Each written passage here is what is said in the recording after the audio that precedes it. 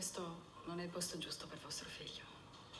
Anche se la polizia ci porta qui praticamente tutti coloro che trova in tale stato. Ma casi acuti? Sì, dobbiamo prendere i casi acuti perché hanno chiuso le celle di sicurezza e quindi ci portano qui persone in uno stato aggressivo ma che in realtà hanno solo da superare l'intossicazione. Mi dispiace, non possiamo fare altro per lui qui. Ha perso un amico? Sì, lo so.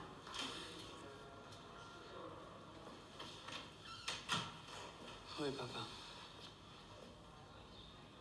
Was machst du da? Gleich die Marina hergebracht. Das ist mein Sohn, Hermann. Zucco bitte.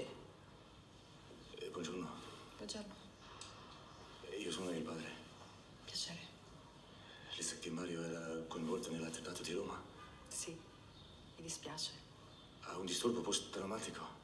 Può darsi, ma in primo luogo è dipendente dalla droga e quindi ha bisogno di un centro di recupero.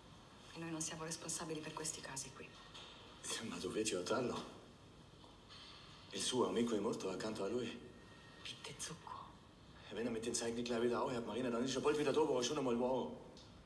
Va bene. Allora, gli do una prescrizione per i sostitutivi e scrivo una raccomandazione per un posto di terapia. Magari con questa storia lo prendono prima. Purtroppo qua in provincia soltanto le chiese danno conforto e assistenza al lutto. Mario war ihm zu frech zum Fahrer. Der wird ihm nicht helfen. Ovviamente un- una terapia specializzata in esperienze traumatiche aiuterebbe, però non è supportata dall'assistenza sanitaria. Traumatherapie. So etwas Elitäres gibt's für uns aber natürlich nicht. Da muss man schon selber mit dem Schicksal fertig werden. Bitte, Zucco, hör endlich auf. Das Schicksal hat ja wohl eher die Lamberto und den Rico getroffen. Gut. Die können sich das aber auch leisten. Hast du getrunken? La prego di mediarci una di queste terapie. Pago io.